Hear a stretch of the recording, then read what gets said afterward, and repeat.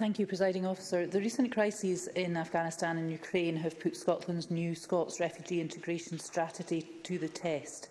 Can the Cabinet Secretary underline the ways in which the new Scots approach offers compassionate support and opportunities to displaced people despite the scale of these challenges?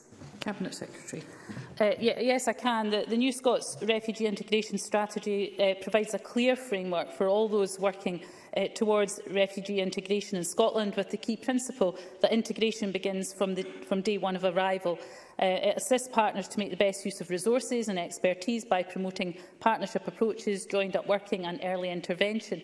It provides a, a strong foundation to respond to challenges faced by refugees, asylum seekers, displaced people and communities across Scotland. Scotland and it aims to support people to use and share their skills, culture and experience as they begin to rebuild their lives.